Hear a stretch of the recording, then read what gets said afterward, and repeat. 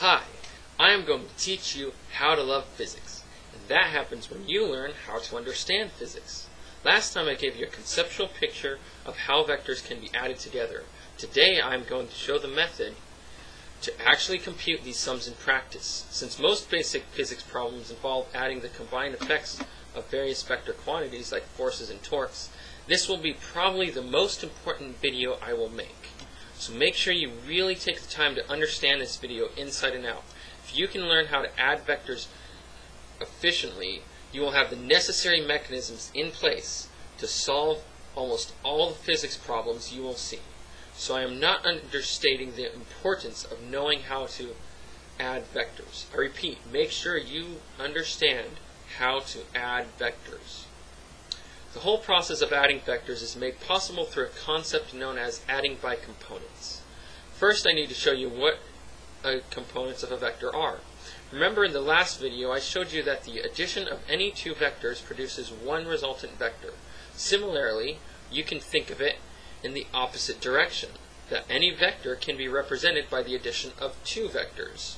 So this red vector can also be represented by these two blue vectors, or these two green vectors, or even these two black vectors. We can even represent any one vector equally well by any two other vectors that sum up to that vector. Now it's very useful to represent any vector you encounter with the following two vectors. A horizontal vector lying along the x-axis and a vertical vector lying along the y-axis. So what are these vectors exactly? Well, say we have a vector A that has magnitude A and angle theta above the horizontal. I will call that vector that is parallel to the x-axis a sub x and the other a sub y. These three vectors, a, a sub x, and a sub y, form a triangle. And since a sub x and a sub y are perpendicular to each other, this is a right triangle. Now we have identified two vectors, a sub x and a sub y, so we need the magnitude and direction of these two vectors. The directions are given by our definitions. a sub x is directed along the positive x-axis, a sub y along the positive y-axis. To get magnitudes, we use the available trigonometric, trigonometric relations. We have the magnitude of the hypotenuse, it's a. We also have the angle of one, of, one angle of the triangle, theta.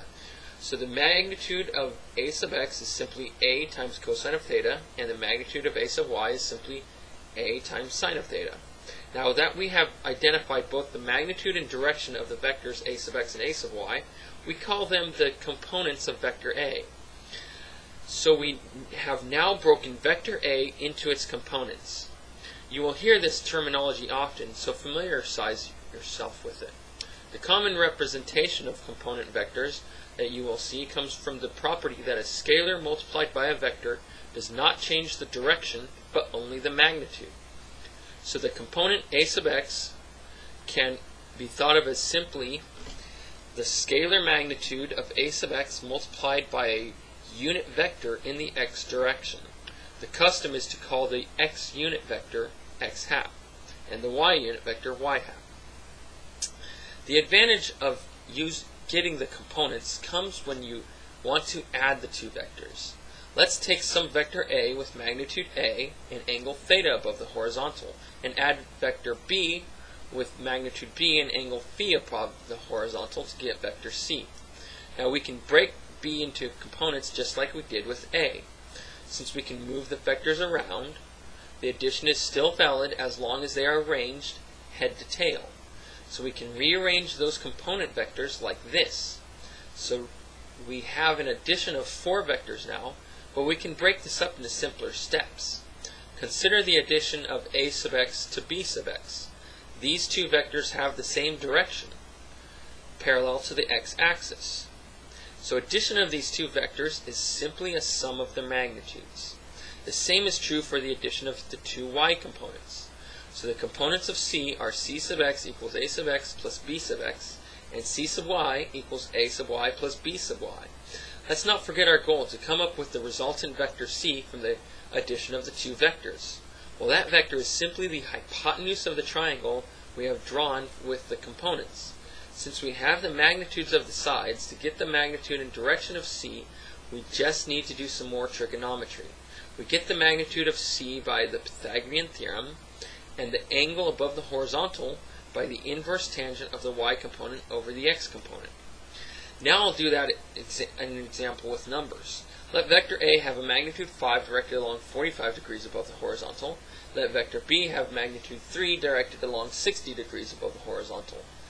To organize the information of the components, I'll use this table. So a sub x is 5 cosine 45 equal to 3.5. b sub x is 3 cosine of 60 equal to 1.5. c sub x is a sub x plus b sub x equal to 5. A sub y is 5 sine 45 equal to 3.5. b sub y is 3 sine 60 equal to 2.5. And c sub y is a sub y plus b sub y equal to about 6. To get the magnitude of c, just do the Pythagorean theorem magnitude of c is the square root of 5 squared plus 6 squared equal to about 7.8. The direction is the inverse tangent of 6 over 5, which is about 50 degrees.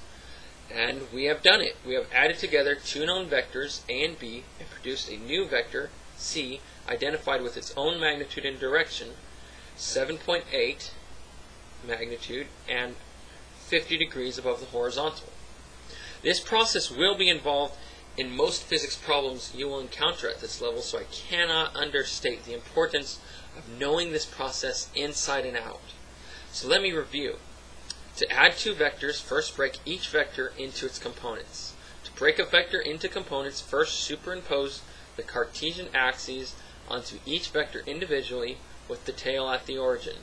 The angle you look at is the one between the vector and the x-axis. You can call it theta. The x component is the magnitude times cosine of theta, and the y component is the magnitude times the sine of theta. Do the same for the other vector. Add the respective components together to get the components of the final vector.